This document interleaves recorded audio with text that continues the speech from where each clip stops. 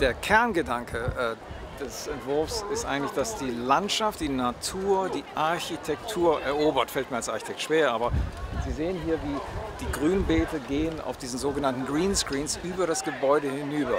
Das ist eigentlich unsere Kernbotschaft. Städte müssen grüner werden, ähm, das, der Lebensraum wird dadurch wertvoller und lebenswerter für die Menschen.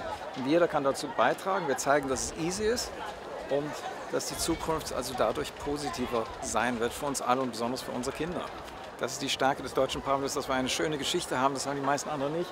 Wir erzählen, dass wir wie China auch aus den 60er Jahren aus einer Industriegesellschaft uns entwickelt haben, weiterentwickelt haben und wir dann kann man nachverfolgen, wie wir daraus in kleinen Schritten eine grüne äh, Zukunft definieren und aufzeigen mit nachwachsenden Rohstoffen, mit viel Grün, mit Dachgärten, mit Fassadenbegrünung und so weiter.